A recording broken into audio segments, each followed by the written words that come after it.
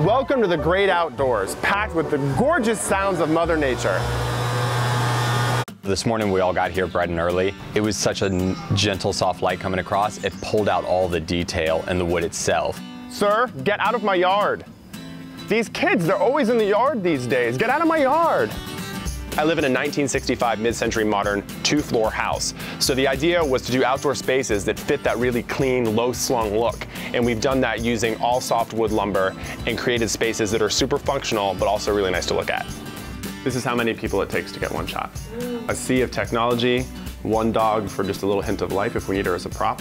I've done a few things that I've never done before. First of all, I've never worked with cedar, and I incorporated it into the pergola of my first floor outdoor living space. To juxtapose the really soft, beautiful look of the cedar with something a little more industrial and hard, we use these really cool looking custom steel brackets. I love shooting close-ups on a project like this because it shows the craftsmanship, it shows the quality of the work, it shows how good the material is. Uh-oh, you have a call coming in? I'll text you. the shot looks good. Okay.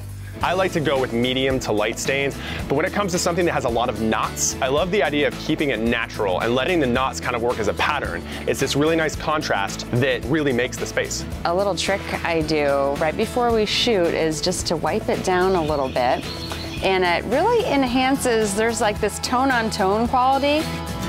A lot of memories are really made outside. I can think of things all the way back to the summer of seventh grade when my father actually built a deck at our old house. And it had this hole directly in the center for a chickee hut.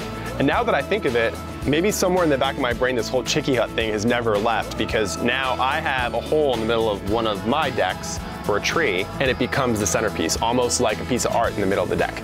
The vibe is just much more anything goes on a deck. You've got all this comfortable outdoor space where you could just kick back, enjoy the nice weather, and create memories for the rest of your life.